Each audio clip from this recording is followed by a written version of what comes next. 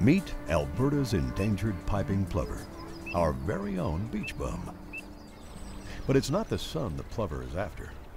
The sand and gravel beaches are home to Alberta's remaining 200 or so plovers.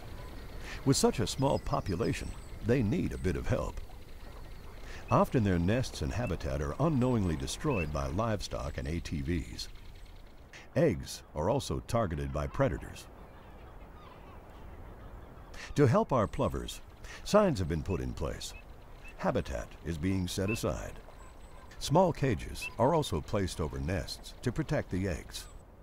These keep predators out, and the parents don't seem to mind at all. With a little help from us, Alberta's piping plovers have a much better chance to hit the beach running. ACA, conserving Alberta's wild side.